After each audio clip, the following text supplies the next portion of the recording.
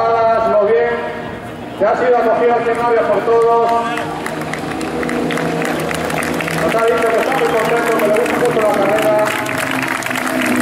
Que sin duda no se ha equivocado al mirador de Muy bien, Pidón. Nos despedimos.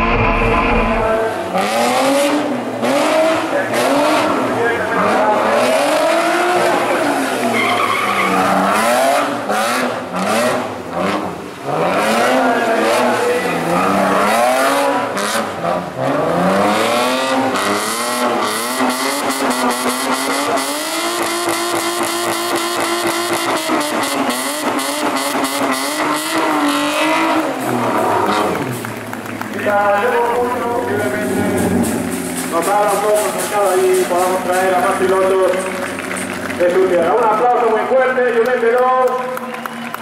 que se retira y nosotros muy bien Miró, ahí lo tenemos, ha venido desde Miró, a bendita de carrera, y hacemos pasarlo muy bien.